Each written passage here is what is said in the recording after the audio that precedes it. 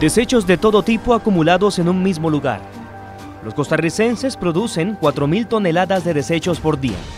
El 87% va al relleno y vertederos, el 7% se queda tirado en el ambiente y solo el 6% se recicla, según datos del Ministerio de Salud Pública. Con estas cifras, ¿qué tan peligroso resulta estar expuesto ante la basura? Desde los recolectores hasta vecinos que conviven a diario con los desechos son vulnerables a sufrir daños en su salud. Los expertos aseguran que si el acercamiento con los residuos es constante, las consecuencias inevitablemente serán graves. Muchos efectos que se pueden dar del, mal manejo de la, basura, El, principal que vemos a veces cerca de nuestras casas es la proliferación de, plagas, moscas, eh, ratas, que podrían generar también efectos este, dañinos a la, salud, ¿verdad? Pudieran mezclarse sustancias altamente peligrosas, dañinas como cancerígenas que usted bien menciona, junto con otras de, de manejo ordinario y pasar desapercibidas generando un efecto oculto por años. En un relleno sanitario la basura es expuesta durante mucho tiempo a la intemperie. Es por eso que en el invierno las infecciones respiratorias se complican debido a la contaminación del aire. Además, la basura que se tira al aire libre es una fuente de alimento para los insectos que propician el desarrollo de enfermedades.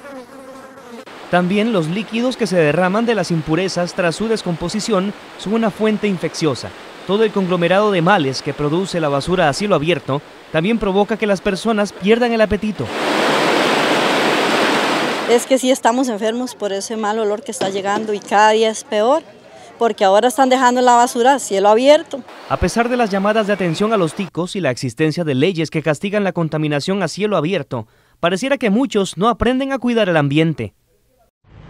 Estoy aquí en Guadalupe, en Purral, al frente de un letrero que dice no bote sus residuos en vía pública. Me voy a hacer para atrás y vean ustedes.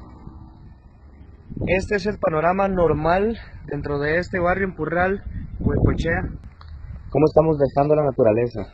Es increíble. es un botador a cielo abierto. Lo que ustedes están viendo es una plaza en este sector, entrando en la colonia 15 de septiembre, en Atillo.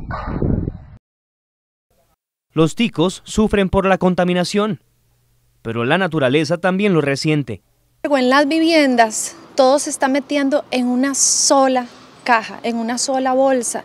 Y a los rellenos, eh, lamentablemente está llegando el camión con todo mezclado y depositado en, eh, eh, sí. Eso está generando actualmente un, lío ambiental y, una afectación enorme a la salud, porque lo que se descompone en un relleno en su 50% es biodegradable y nos está generando gases como el metano, que han ocurrido explosiones inclusive en los rellenos porque, porque no tiene para dónde coger esa descomposición. ¿Y qué están haciendo las autoridades para evitar este peligro? ¿Quién se hace responsable? La ciudad más limpia no es la que más se barre, es la que menos se ensucia. Eso lo veremos en nuestra tercera entrega.